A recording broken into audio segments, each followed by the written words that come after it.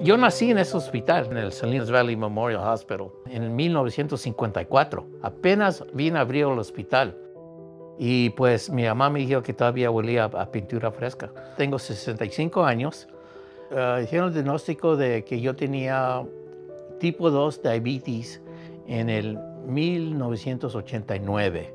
En todo ese tiempo no le hice mucho atención. No frutas, uh, no, no, no granos, nada de eso. McDonald's, Windy Burgers, tú sabes, todos esos lugares. Descubrieron que tenía cuatro venas del corazón tapadas, bloqueadas, y que iba a ocupar uh, seguridad del corazón.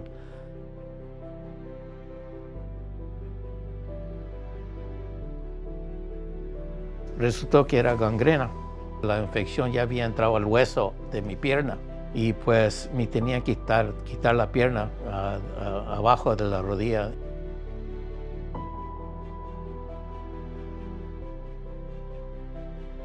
Y luego el último ataque de corazón pasó en, ah, e, en abril 2019.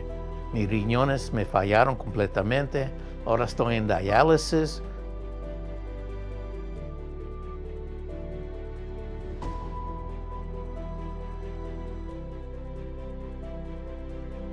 Si yo hubiera tomado estas clases años atrás, es muy eh, posible que no hubiera pasado los ataques de corazón.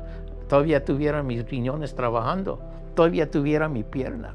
Él ahora ha cambiado su dieta, eh, escoge comidas más saludables, tiene ah, más granos integrales en su dieta y él también trata de estar más activo. Viene una vez por semana a la cuarta clase que tengo y él da una clase de como 20 minutos explicando qué es lo que a él le sucedió y su motivación es tratar de ayudar a los pacientes para que entiendan que esto puede sucederles si no se cuidan. Cuando él se quita su pierna y le enseña, la gente se queda como impactada y se ponen a reflexionar que sí puede pasarles a ellos. La gente que me estaban ayudando en el Salinas Valley Memorial Hospital, puros profesionales.